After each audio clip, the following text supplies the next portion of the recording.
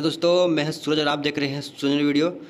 आज मैं बताने वाला हूँ जो हमारा व्हीकल में जो इलेक्ट्रिकल सिस्टम है हमारा मल्टीमीटर यूज़ होता है उसके बारे में ठीक है? उसमें क्या क्या चेक करते हैं और वो कैसे चेक करते हैं वो सब चीज़ बताने वाला हूँ उस वीडियो में।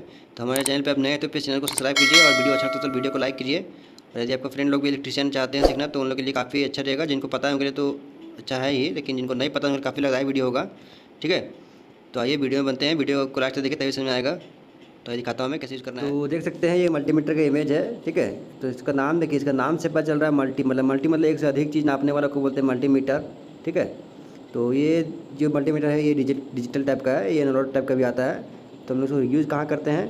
तो फॉर चेकिंग क्वान्टिटी ठीक है? क्वान्टिटी चेक करने के लिए करते हैं रेस्टेंस चेक करने के लिए बोलते हैं और वोल्टेज ठीक है? वोल्टेज कौन सा? डीसी वोल्टेज हमारा घर में जो आता है एसी वोल्टेज आता है और जो गाड़ियों में आता है वो हमारा डीसी वोल्टेज आता है ठीक है? तो हम लोग इसमें देखिए दो प्रोब रहता है, एक तो ब्लैक वाला रहता है नेगेटिव और जो रेड वाला रहता है वो पॉजिटिव रहता है। यही दो जो प्रोब इसको बोलते हैं, ठीक है? और ये जो हमारा दिख रहा है गोल सा, इसको बोलते हैं नोब ठीक है? कौन सा नोब पे कहाँ पर रखना है, इसका विषय बताने वाला वीडियो पे। तो वीडियो को लास्ट तक देखें। तो आइए मैं दिखाता हूँ, इसको क्या क्या चेक करना क्वान्टिटी चेक कैसे करते हैं रेस्टेंस कैसे चेक करते हैं वोल्टेज कैसे चेक करते हैं, वो दिखाने वाला अभी, ठीक है? तो सबसे पहले चेक करेंगे क्वान्टिटी ठीक है? क्वान्टिटी चेक करेंगे प्रोब को कहाँ पे रखना पड़ता है, क्या करना पड़ता है?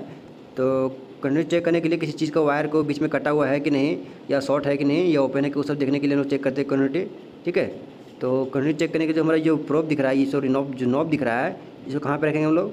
जो हमारा मल्टी में देखेगा वाईफाई से बीप बना रहेगा लाल रंग का, ठीक है? इस टाइप का बना रहेगा तो इस पर आपको रखना है, ठीक है? और उस टाइम जो जो हमारा प्रोब रहेगा, ये एक लगाना है इसमें, एक लगाना है इसमें, देखिए यहाँ पर को सी ओम लिखा हुआ है और यहाँ पे वोल्ट एम्पियर ये सब लिखा हुआ है, ठीक है? तो हमेशा इसमें आपको रेड लगाना है और यहाँ पे आपको ब्लैक वाला लगाना है है ना? उसके बाद क्या करना है कि आपको किसी चीज़ का आपको कंटिन्यू चेक करना है। देखिए, मान लीजिए एक वायर यहाँ पे है, ठीक है? मैं दिखा रहा आपको। एक वायर मान लीजिए यहाँ पे है, ठीक है? उसके बाद एक वायर यहाँ पर है। और ये जो वायर है, इसे आपस में पर ज्वाइंट है, ठीक है? दिखा रहा हूँ यहाँ पे। ऐसे ज्वाइंट है, ठीक है? तो मान लीजिए ये वायर बीच में से कहीं कटा हुआ नहीं है। तो ये जो वायर कटा हुआ नहीं है तो मान लीजिए ये जो मल्टीमीटर का जो दो ब्लैक वाला जो, और ये येलो रेड वाला है, इसको यहाँ पर सटाएँगे एक ठो रेड वाला या ब्लैक वाला, और एक ठो यहाँ पर सटाएँगे। उस टाइम आपका जो मल्टीमीटर है, जो बीप देगा, ठीक है? जब बीप बज रहा है मतलब हमारा वायरिंग ओके है। यदि बीच में मान लीजिए ये वायर यहाँ से कट गया, ठीक है? यहाँ से भी हमारा वायर ये कट गया, ठीक है? तो उस टाइम क्या होगा कि हमारा जो रहेगा जो बी वाला बज रहा था, वो नहीं बजेगा, ठीक है? मतलब हमारा जो है, ये वायर ओके नहीं है, कहीं से ये बीच में से कट गया है है ना? तो इसको हम लोग कंटिन्यू चेक बोलते हैं।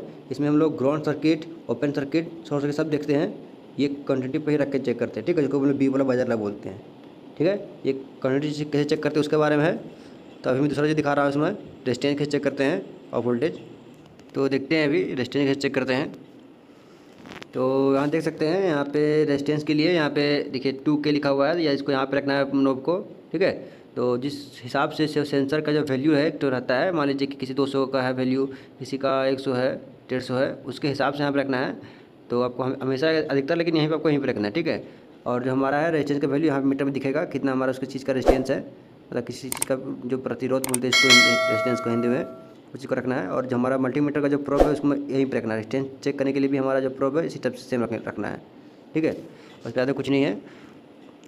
तो अभी देखते हैं इसका वोल्टेज कैसे चेक करते हैं, कहाँ पर रखना है इसका प्रोब तो देखिए, यहाँ पे वोल्टेज चेक करने के लिए, देखिए, सबसे मैं बता रहा हूँ कि यहाँ पे दो टाइप का वोल्टेज आता है, एक एसी करंट का आता है, एक तो डीसी करंट का। ठीक है? तो यहाँ पे देखिए, एक चीज़ मैं दिखा रहा हूँ यहाँ पे। ये ये देख सकते हैं, यहाँ पे भी लिखा हुआ है और यहाँ पे भी लिखा हुआ है। दोनों वोल्टेज है, दोनों को वोल्टेज में नापना है, लेकिन एक होता है एसी करंट और डीसी करंट तो हम कैसे पहचाने कि कौन सा एसी है, कौन सा डीसी है?